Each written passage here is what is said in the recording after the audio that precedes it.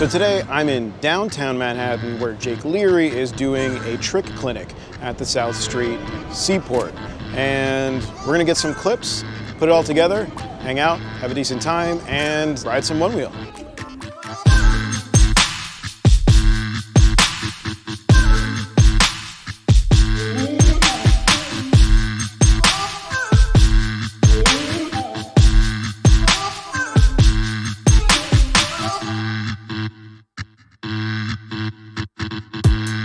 I should preface this by mentioning that I can't really do any actual Onewheel tricks. Aside from practicing stable riding and figuring out how to explain things better, I just don't actually work on my riding very often these days, at least not to an elevated level like some of the more skilled riders in the community. That being said, I took some time and went out of my comfort zone. Not by learning Onewheel tricks, but by going into Manhattan. Dave from OneTrickWheel and Jake Leary were hosting a trick clinic in downtown Manhattan at the South Street Seaport. The weather was nice, the turnout was pretty solid, and I have to say, I had a pretty good time. By the way, I want to thank all the folks who said hello and introduced themselves. Big shout out to James for being such a gracious fan, and to Sebastian for stopping me on the West Side Highway and saying hello. I always appreciate meeting viewers, it's both humbling and motivating. Thank you, truly. Oh shit! Let's go! Good shit. Good shit. Now, when it comes to doing tricks on the board, I'll absolutely admit that there are better folks than me when it comes to explaining what to do. So, in this video, we're going to get some tips from riders who have actual expertise and also take a look at an interesting thing that may help you in your journey to learning more skills and tricks on this kind of board.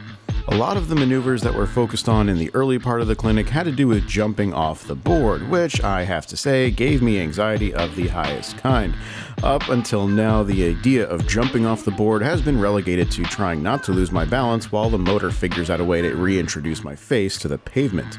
But being around so many folks doing jumps, varials, and bonks was very cool and very inspiring. Also inspiring were the tips and guidance that Dave and Jake were giving the riders throughout the clinic.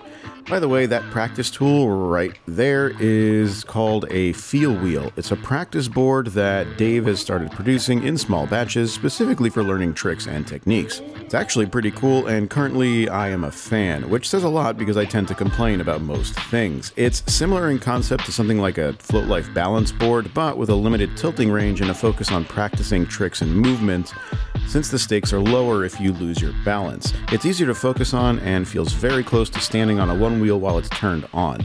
I like it and I think it's a pretty cool idea. Between this FeelWheel and the Float Life balance board, I'm happy to see practice tools that take some of the risk away when wanting to practice certain skills and allow for easier practice indoors. With a summer full of thunderstorms in the Northeast, this is pretty useful. My name's Dave.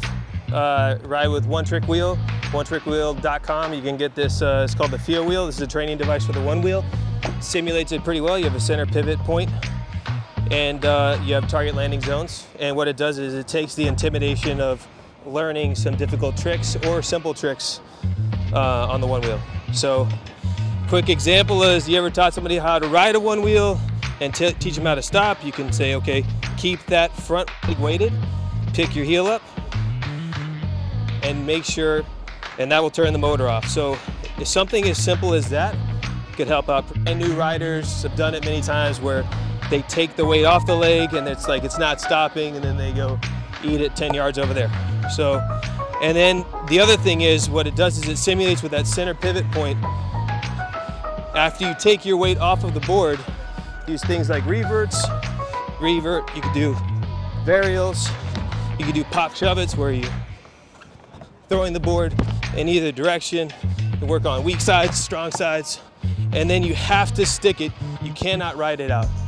More advanced moves when you're, you can load your, load your body up, and I want to take all of my weight off of the board when I rotate. I try to do a 360, unweight, reweight the board.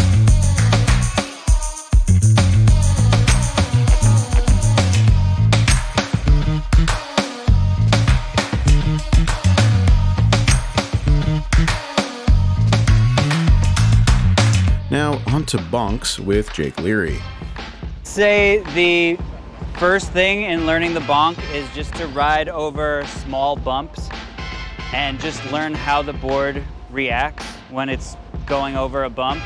The motor will strain a little bit and it helps to just bend down before the bump and just do a little like little tiny jump or an almost jump just to unweight yourself and just see how that feels, how the board reacts and try to keep the board level, prevent it from tipping over. That really is the first step in, in learning how to bonk. Just going over little bumps in the street and you're you'll just naturally catch a little bit of air. When you're in the air, it's, it's important, obviously, to keep the board level toe to heel because the board will tip over if you don't. And also uh, nose to tail, because when the tire's airborne, it can spin really easily. And if it's spinning and you land, it's gonna kick out. And it's, it's really important to just try to keep that board level in the air so that you don't like kick out when you land.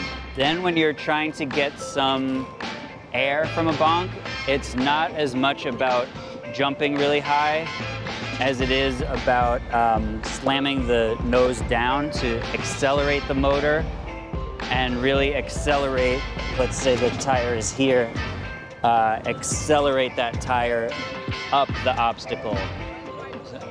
so, well, the first step is putting the tail down. So right before, depending on the obstacle, either right before you get there, or you can also sort of just drag your tail in if you're coming in with a lot of speed. You can, you can just put the tail down early and, and you want to wind up here where you have all this room to push the nose down. You'll notice the tire will bounce off an obstacle and the board will get airtime. So you sort of want to just combine that with uh, sort of slamming the nose down and sort of, and, and jumping your legs up out of the way. So you're, you're pushing this one down and you really want to jump as you're jumping off, jump off more with, with your rear foot. I cannot do bonks. Truth be told, I'm still practicing curb nudges, and by practicing, I mean occasionally I try to end up having a picnic with the sidewalk and then calling my wife to come and scrape me off the pavement. But while this was a day for me to practice riding around with the most expensive camera I've ever owned, other riders seem to have been making the most of their time around other riders of varying skill levels. It's days like these that refresh my appreciation of both the local riding community and New York City.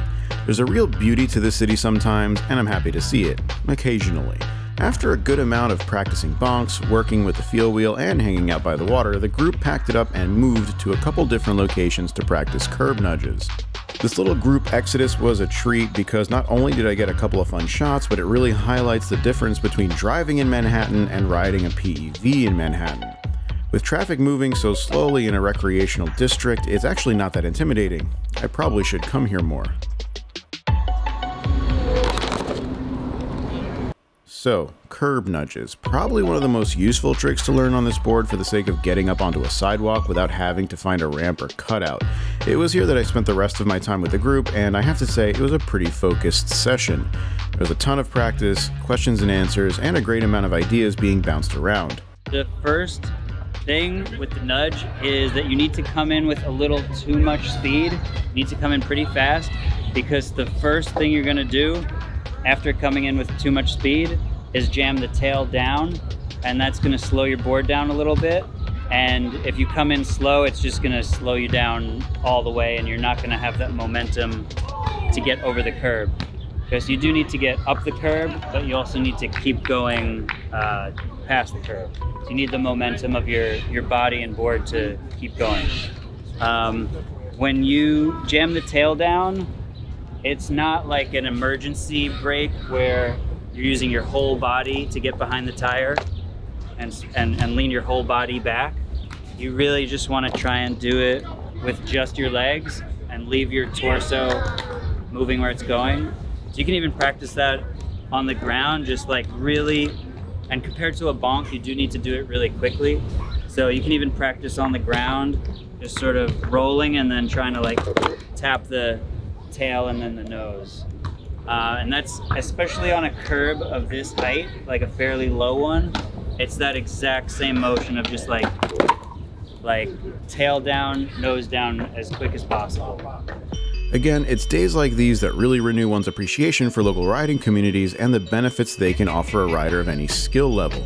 I got to meet some viewers of the channel, hang out with some friends, and have a chill time getting shots and breathing the fresh air off the water. This trick clinic looked like it was an absolute success. The turnout was solid, the atmosphere was positive and supportive, and it seemed like riders got a lot out of it. I think it'd be a really good thing if more of these kinds of things popped up all over, where riders of all skill levels could come together and workshop specific skills and take some focus time together to progress their riding. Group rides are popular, of course, however, there was definitely a different vibe to being at a clinic like this. No one worried about charging, range, or getting left behind. No one cared which board they were riding. Folks with Pints practiced bonks and nudges alongside XR riders, and the goal of the day was just to progress at a skill and leave with a bit more knowledge and practice to continue on with. It's a pretty timely idea, frankly. Clinics like these are usually held at more major events. If folks in your area can coordinate smaller, more focused events like this, I think it'd a really rewarding thing, and a low stakes environment to build community skill and share experience. Huge shout out and many, many thanks to both Jake Leary and Dave from OneTrickWheel and to everyone that showed up. It is your presence that makes events like these successful, and once again, huge thank you to all the viewers that said hello. Thank you for watching. If you did not like this video or you thought it was awful, then please hit the dislike button twice. Make sure to subscribe, and I will see you in the next video.